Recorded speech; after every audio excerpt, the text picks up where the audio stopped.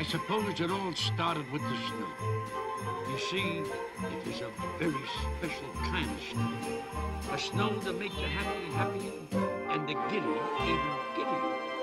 A snow to make a homecoming homier and natural enemies friends. Natural. For it was the first snow of the season. And as any child can tell you, there's a certain magic to the very first snow, especially when it falls on the day before Christmas. For when the first snow is also a Christmas snow, well, something wonderful is bound to happen.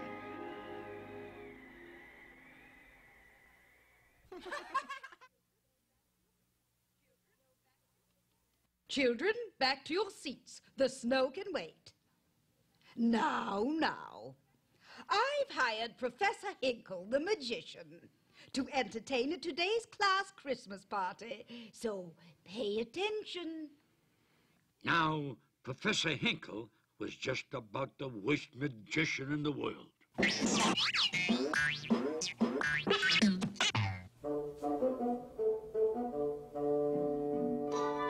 so I put the magic eggs into my hat. Abracadabra, to coin a phrase. and voila, the eggs have turned into. Messy, messy, messy. Mm. Where is that rabbit? Hocus pocus, where are you? Bah! The only thing this hat's good for is the trash can.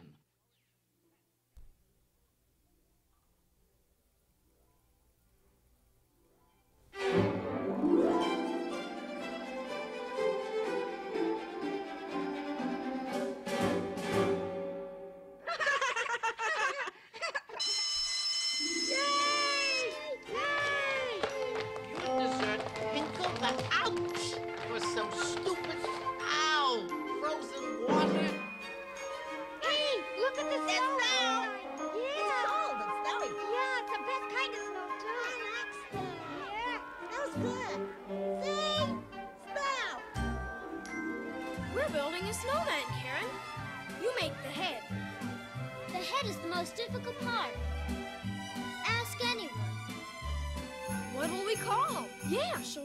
Harold?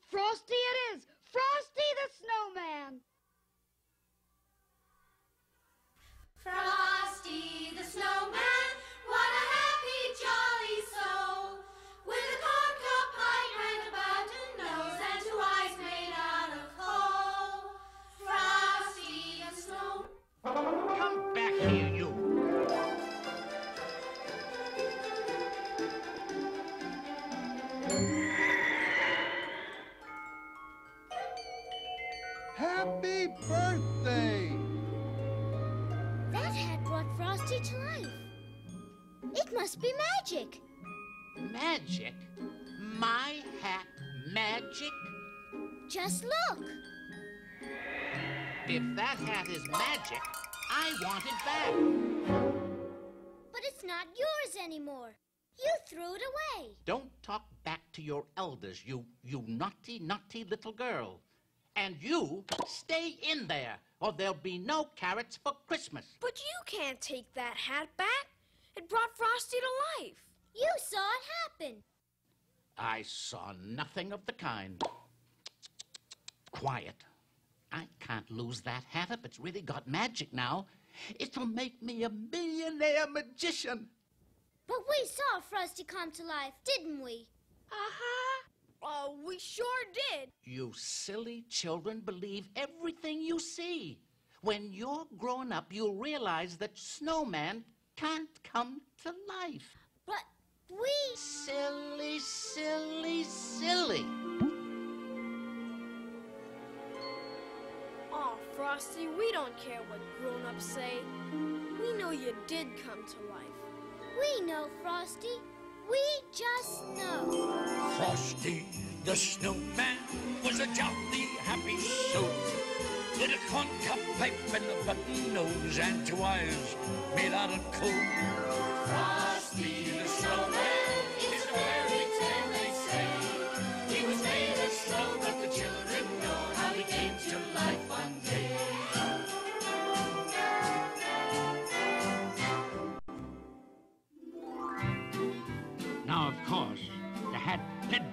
to Frosty and the children. That point must be made very clear. Therefore, Hocus Pocus was entirely in the right in what he was about to do.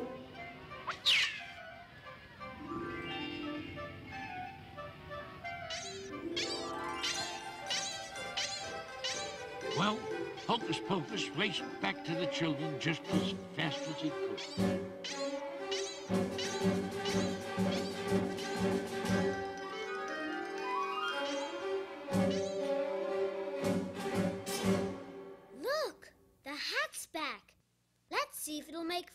Alive again.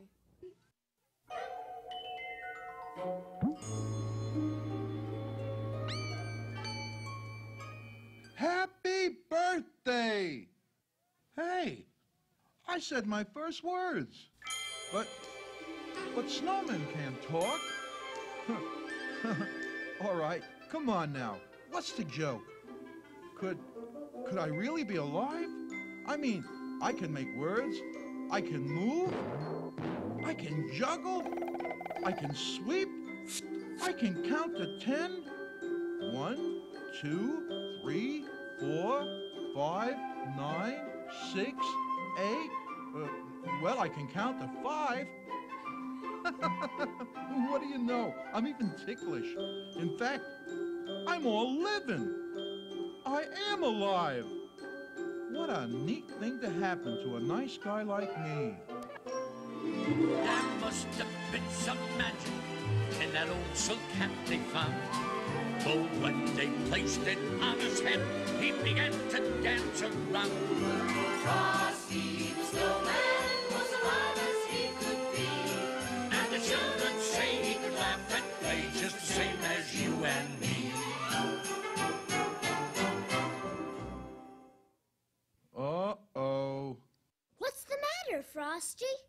Whew.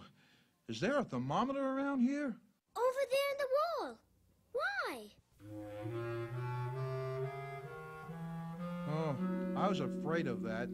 The thermometer's getting red. I hate red thermometers. Why, Frosty?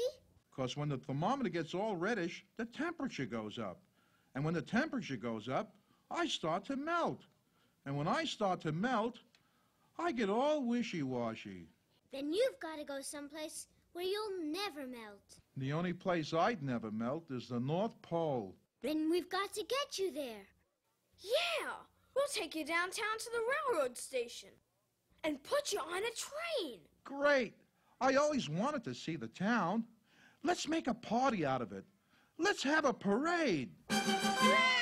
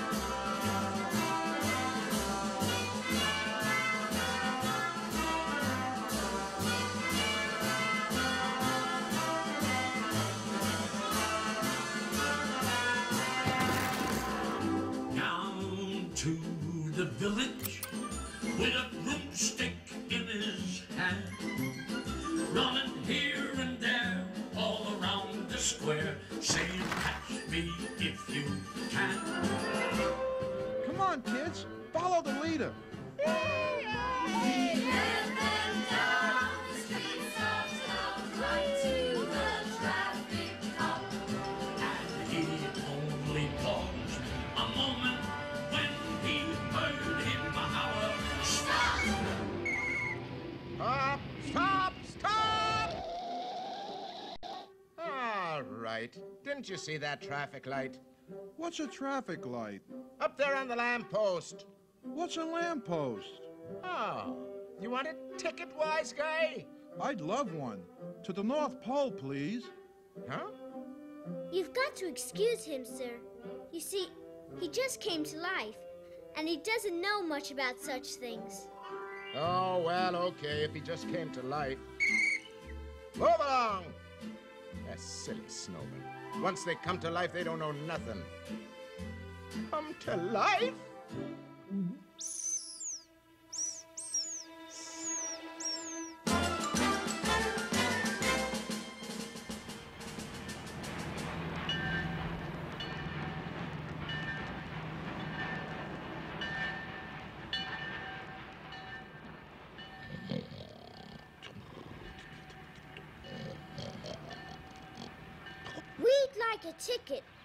North Pole, please.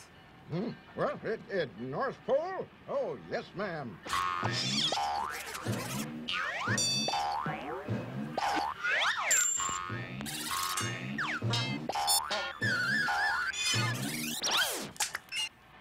Route you by the way of Saskatchewan, Hudson Bay, Nome, Alaska, the Klondike and Aurora Borealis.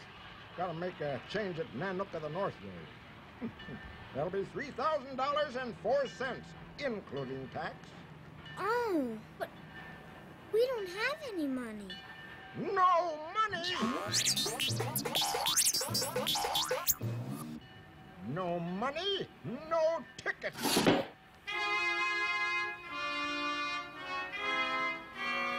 Now I'll never get to the North Pole. Oh, Frosty, you just can't melt. Oh, Karen, don't you get all slushy, too. What is it, Hocus? Out the window? A refrigerated boxcar on a train headed north. You'll be safe there, Frosty. Come on.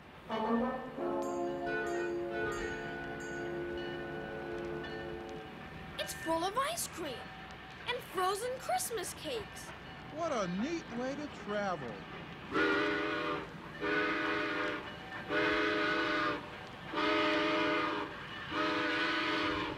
Hurry up, Frosty. The train is pulling out. Are you coming to the North Pole, too? I'm sure my mother won't mind. As long as I'm home in time for supper.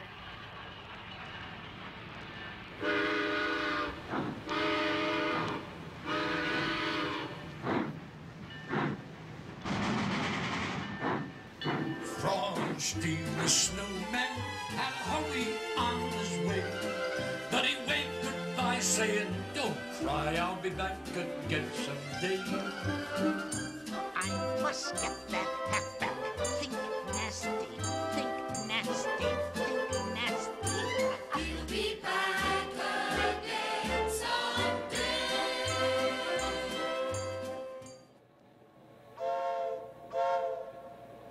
Now, actually, a refrigerated boxcar is a splendid way to travel.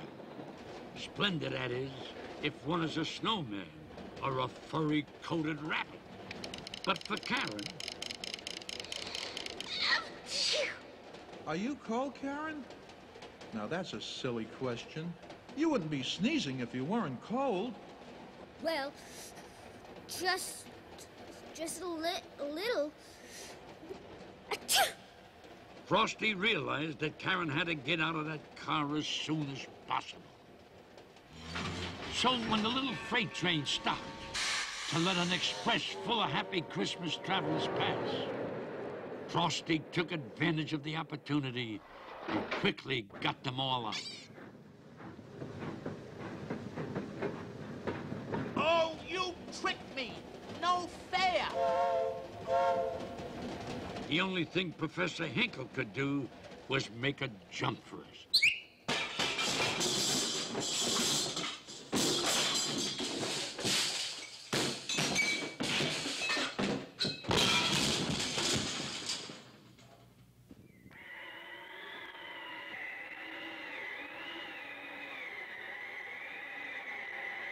Frosty wanted to get as far away as he could before Hinkle woke up.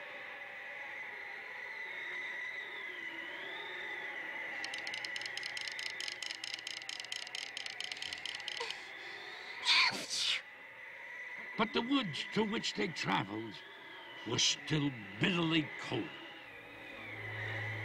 Hocus, I've got to get Karen all warmed up, or she's a goner. But I can't make a fire. Oh boy, that's one thing I really can't do. Guess we just better keep moving till we find someone who can. Then suddenly they came upon a tiny glen, which seemed almost magical. For it was Christmas Eve, and the woodland animals were all decorating for that big celebration. They knew Santa was to come that night, and they wanted everything to be just right. Hocus, speak to the animals. See if they will all pitch in and build a fire for Karen.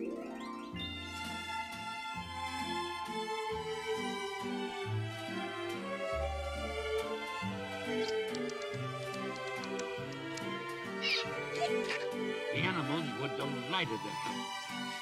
So they found a spot away from the glen where the fire wouldn't catch on to the trees. Soon there was a spark, and in almost no time, a splendid fire was crackling away.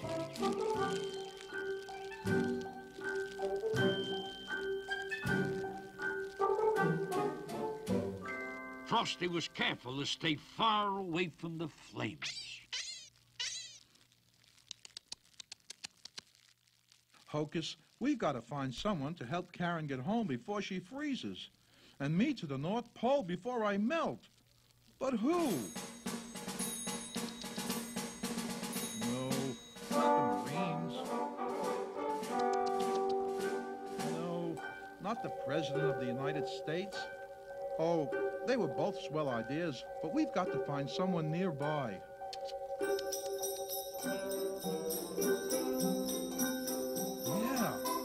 Santa Claus. That's a great idea. Why didn't I think of that before? Hocus, you go back with the animals, and when Santa comes, you bring him right here. Understand? Hurry now!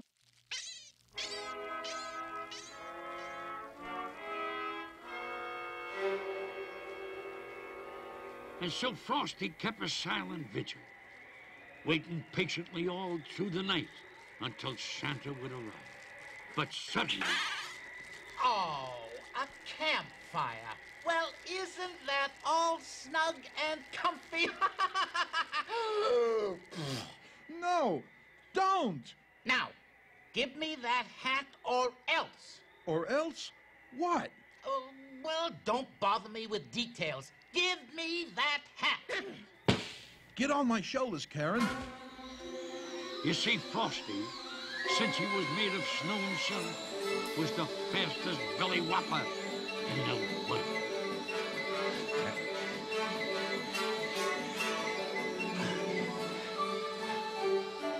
And old Professor Hinkle was soon far out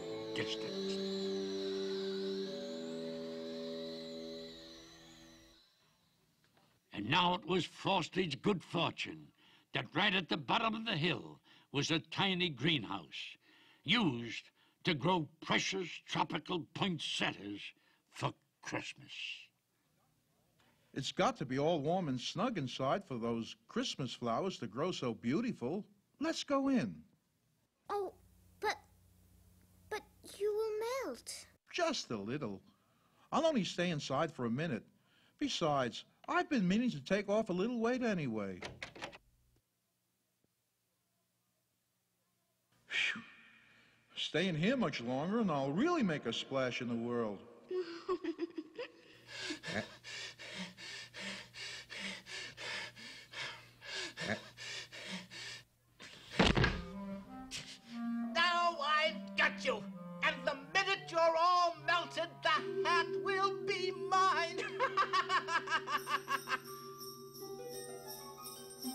Santa had arrived, but was he too late?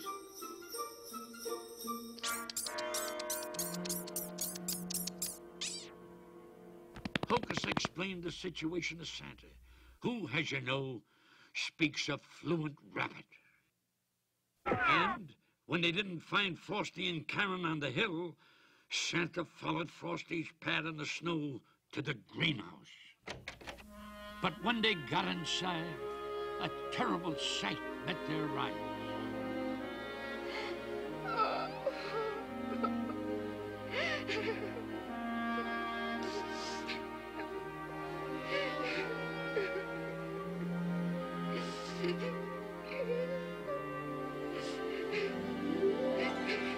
Frosty, the snowman, was a happy, jolly soul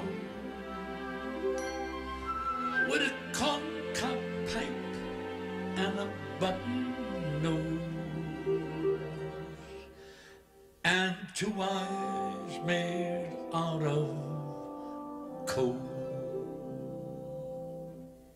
They were too late. Too late? Why, nonsense. Oh, don't cry, Karen. Frosty's not gone for good. You see, he was made out of Christmas snow, and Christmas snow can never disappear completely. oh, it sometimes goes away for almost a year at a time and takes the form of spring and summer rain. But you can bet your boots that when a good, jolly December wind kisses it, it'll turn into Christmas snow all over again. Yes, but he was my friend. Just watch.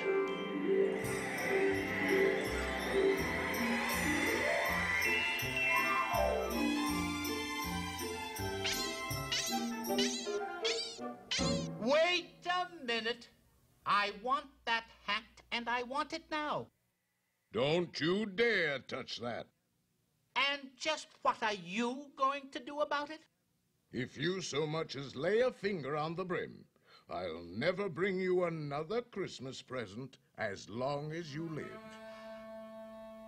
Never? Never.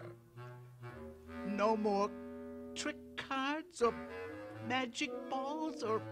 No more anything. Oh, that's not fair. I mean, we evil magicians have to make a living too. Now you go home and write, I am very sorry for what I did to Frosty a hundred zillion times. And then maybe, just maybe, mind you, you'll find something in your stocking tomorrow morning. Uh, a new hat, maybe? Oh, yes, sir. Goodbye, everyone. Sorry to lose and run, but I've got to get busy writing. Busy, busy, busy. Come on, Frosty. We're all waiting for you. Happy birthday! Frosty the Snowman is a fairy tale,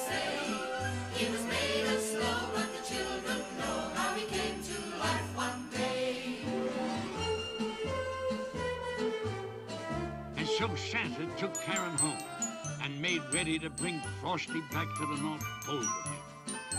Oh! Karen hated to say goodbye to Frosty. But as Santa promised, Frosty returned every year with the magical Christmas snow. And every year there was a great celebration with a big Christmas parade. Thumpity thump thump, thumpity thump thump, Look at that frosty go thumpity thump thump, thumpity thump thump. over the hills of snow. Frosty the snowman was a jolly, happy soul with a corncob pipe and a button nose and two eyes made out of coal. And with Frosty the Snowman, Christmas was always very merry indeed. You have a Merry Christmas.